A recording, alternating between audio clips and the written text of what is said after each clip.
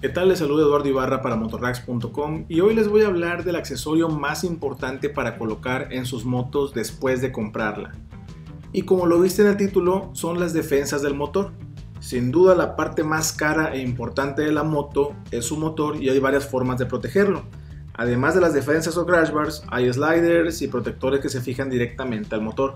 Sin embargo, lo más efectivo son unas defensas bien diseñadas. Aquí sí te recomendaría no escatimar en su costo, comprar defensas de una marca reconocida y también que hayan sido probadas y tenga buenas reseñas. Pueden ser las que fabrique la marca de la moto, por ejemplo BMW también vende las defensas y en algunas de sus motos, por ejemplo las de las GS de la línea Adventure, viene de serie. Pero también hay empresas externas que se dedican a fabricar protecciones específicas para cada modelo de moto, como SW Motec, Duratec, Gibi y entre otras. Unas defensas bien diseñadas evitarán que en una caída el motor y a veces el resto de la moto toquen el suelo. Y bueno, casi siempre, si no es que siempre, cuando se cae una moto es de manera lateral. Es muy raro que se caiga de frente o detrás, como cuando has visto eso. Entonces, eh, las defensas comúnmente, además de protegerte el motor, queda así como que inclinada y reposada sobre las, las defensas o se arrastra sobre las defensas y a lo demás pues no le va tan mal.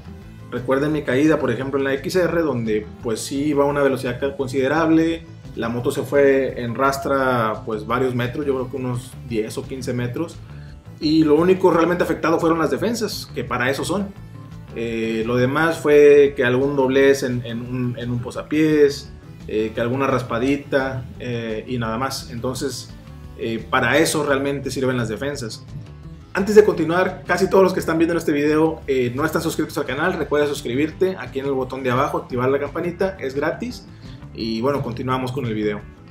También te dejo, por ejemplo, esta prueba que hicieron en SW Motec y ve lo efectivas que son las defensas. También nota que rara vez las defensas de arriba, que son las que están como que cubriendo el carenado, las defensas altas, eh, esas defensas casi nunca topan con el suelo porque las defensas bajas o las defensas del motor están haciendo ya su función muy bien. Entonces si estás decidiendo entre si comprar defensas o no, o entre si comprar las altas o las bajas, siempre vete por las defensas bajas. Eh, cosas importantes que debes checar cuando elijas tus defensas.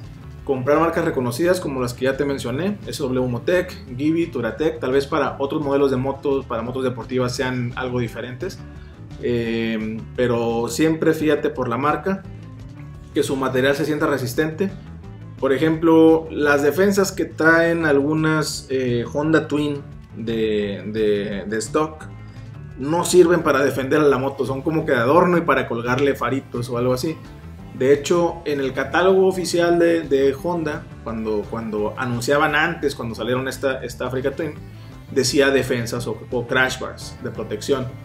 Y ahora, eh, creo que a partir del 2020 o 2021, no recuerdo, ya no dicen, ya dicen algo así como que soportes estéticos eh, o cosas por el estilo. Entonces, te tienes que fijar bien que realmente las defensas sean resistentes y que te las vendan como tal. También es súper importante que estén hechas específicamente para tu modelo de moto. Hay algunas universales, pero es mejor que estén diseñadas para la moto porque Tal vez las universales le funcionan bien a ciertas motos y a otras motos no tanto. Y también un punto muy muy importante es que vayan fijadas en su totalidad o por lo menos en varios puntos al chasis de tu moto. Hay algunas que se agarran por ejemplo nada más del motor y pues eso lo que podría hacer en un golpe muy fuerte es que salga volando el motor junto con la defensa o ese pedazo del motor o la cabeza o algo. Y si van fijadas al chasis son este, por lo general más resistentes. Y bueno, si te pareció útil este video, suscríbete al canal, deja tu like y comentario. Cuéntame de qué otro tema te gustaría que hiciera un video. Recuerda unirte al grupo de Facebook que está aquí en la descripción del video. Muchas gracias por verlo y nos vemos en el siguiente.